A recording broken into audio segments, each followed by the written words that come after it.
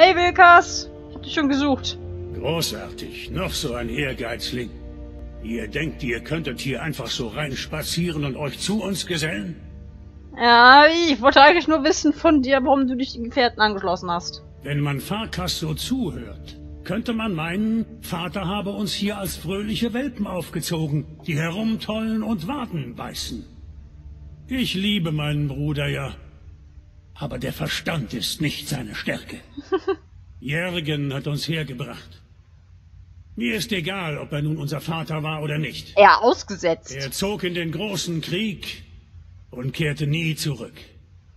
Also ist er jetzt nicht mehr mein Problem. Boah. Aber wir sind jetzt schon so lange hier, wie wir zurückdenken können. Versucht also, etwas Respekt zu zeigen. Muss ich mich jetzt immer schön vor dir verbeugen, wenn ich dich sehe? Gottlag, ich will den Gefährten Ein beitreten. Fremder betritt unsere Halle. Wie die meisten von uns habe auch ich diese Familie nach dem Verlust meiner eigenen gefunden. Ich habe die äußersten Gebiete dieses Landes bereist und dabei alles gelernt, was es über Schwert und Axt zu lernen gibt. Ich war nur ein Junge, doch in meinem Herzen brannte das Feuer eines Mannes. Und eines Tages holte mein Körper meinen Geist ein. Mein Vorgänger Askar fand mich in Hammerfell. Aska. Ich diente dort einem dünnhälsigen Fürsten als Leibwache. Er brachte mich hierher. Und mir wurde klar, dass ich damit in mein wahres Zuhause gekommen war. Ich will dieser Familie Ehre bringen und der Familie, die ich verlor.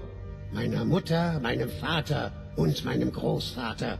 All meinen Schildgeschwistern. Familie und Ehre. Sie sind die Grundfesten der Gefährtenmädchen.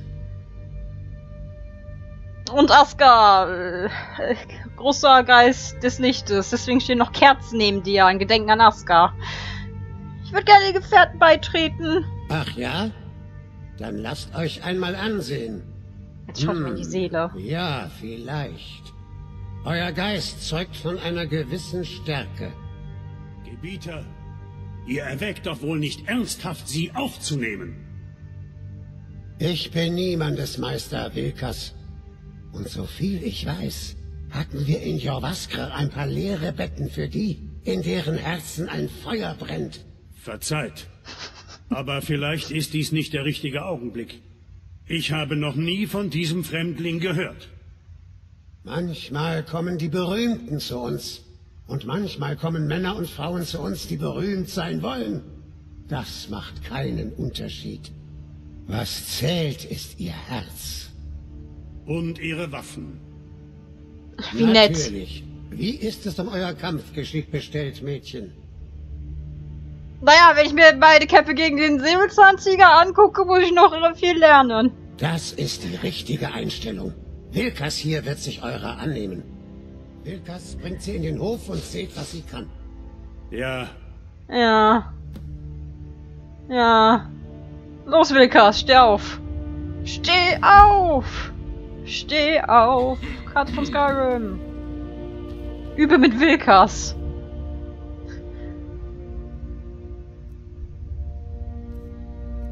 Indem ich zu schwer belastet bin.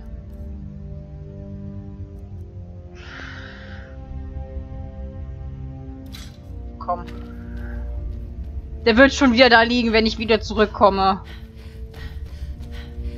Was braucht ihr? Nichts. Jedenfalls nichts von dir.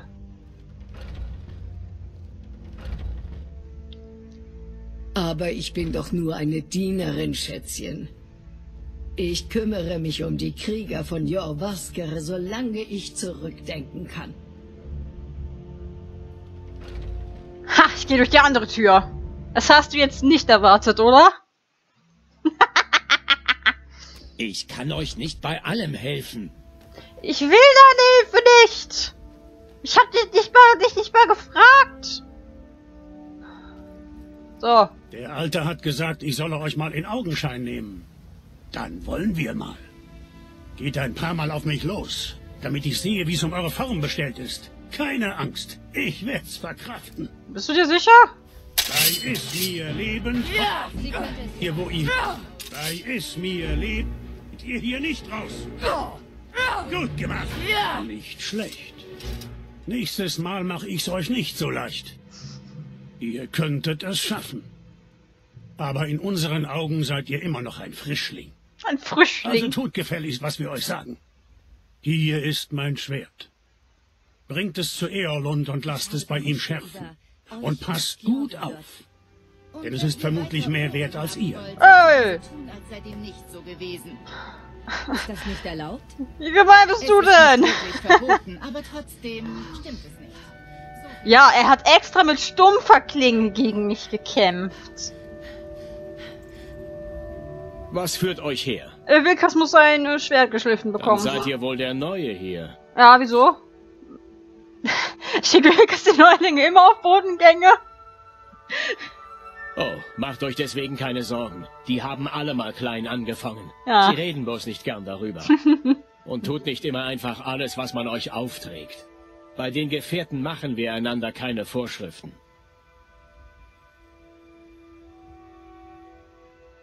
Aber irgendwer muss doch ja die Führung übernehmen. Nun, ich weiß nicht wie, aber sie scheinen ohne auszukommen.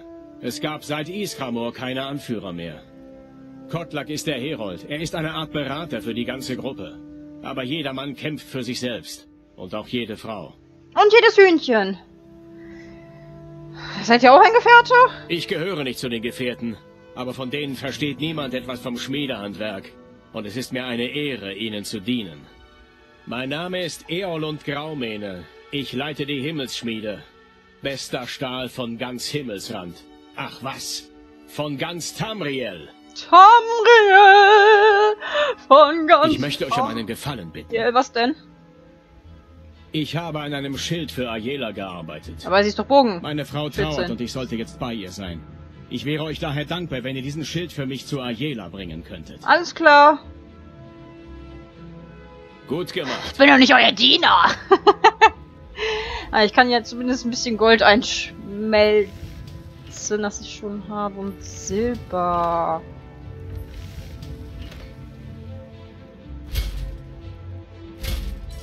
Kann ich? Doch, da oben. Nee, Gold habe ich ja noch nicht zu Barren geschmolzen. Was rede ich da?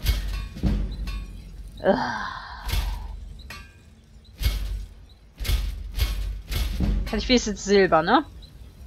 Die Silberbarren schon mal runterschmieden.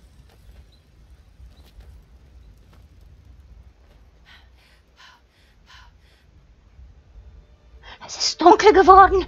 Alle gehen ins Bett. Um halb zwei.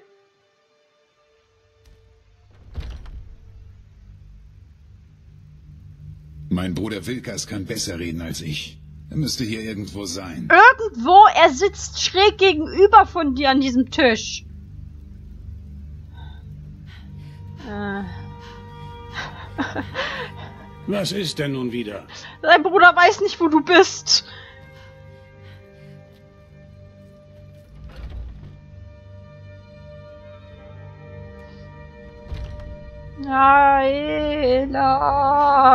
Bist du bestimmt in deinem Zimmer.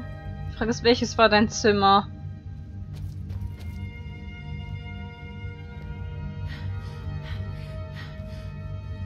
Da bist du ja. Wenn ihr mich jagen wollt, müssen eure Beine Ich will dich immer noch nicht jagen. Ach, das war dein Bogen? Geduld, sich mit all dem Pöbel hier abzugeben. Ich hab dein Schild. Ah, gut.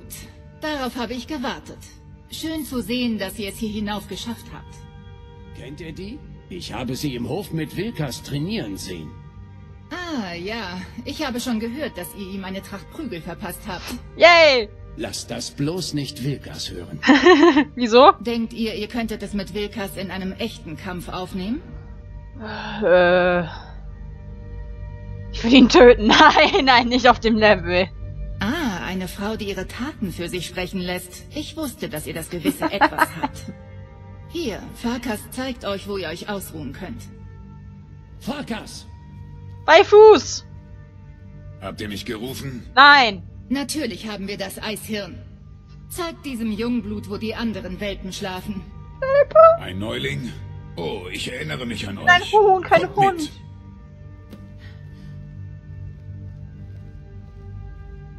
Wenn schon müsstest du mich mit Küken anreden. Skjör und Ayela ziehen mich gerne auf, aber es sind gute Leute.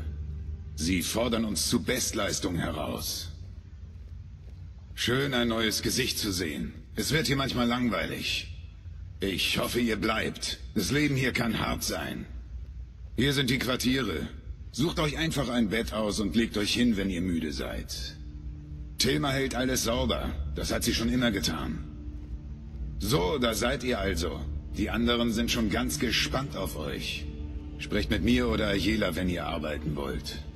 Wenn ihr euch einen Namen gemacht habt, könnt ihr Aufträge von Skjor und Wilkas erhalten. Viel Glück.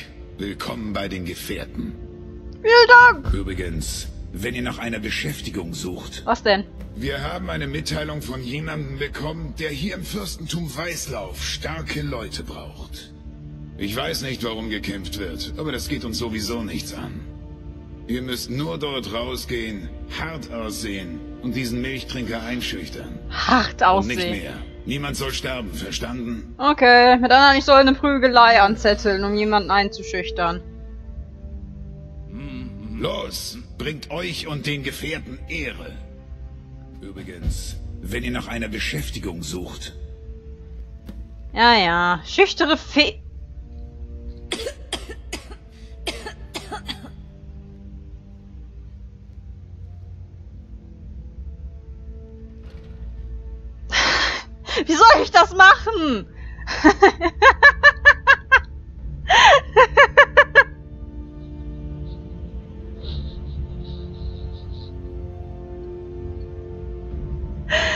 Na egal. Liegt mein Bogen noch da hinten.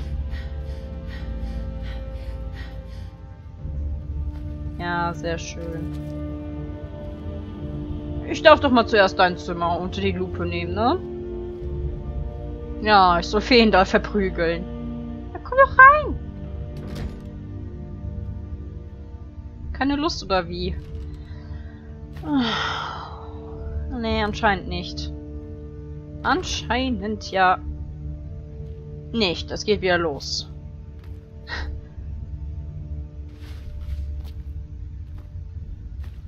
Noch so ein Stein. Bettlerprinz, Windhelmbriefe.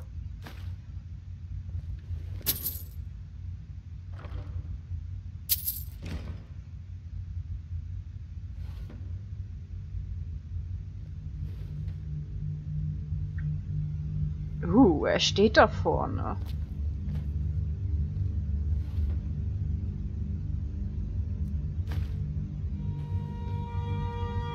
In manchen Nächten träume ich von den Nebeln von Sovengarde. Oh, warum das denn? Wenn ihr so alt wie ich werdet, werdet ihr den Geruch des Blutes vermissen. Merkwürdig, ich weiß.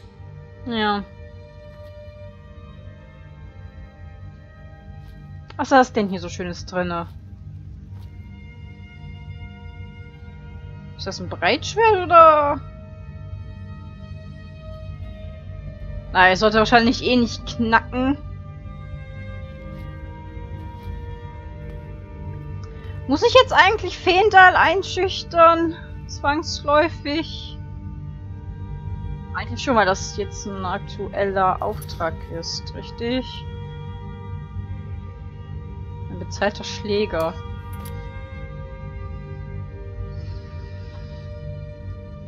Eigentlich? Ich gebe euch Deckung. Ihr könnt mich nicht einschüchtern. Also los. Los, zeigt mir, aus welchem Holz ihr geschnitzt seid. Ihr hättet nie herkommen sollen. Was macht ihr da? Das nicht noch einmal. Letzte Warnung. Los, sterbt schon!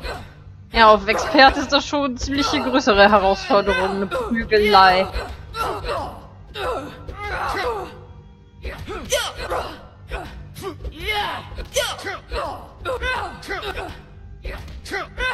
Es gibt kein Entkommen.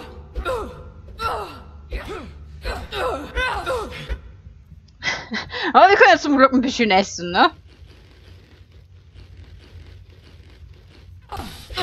Einfach mal wer im Kampf sich vollstopfen.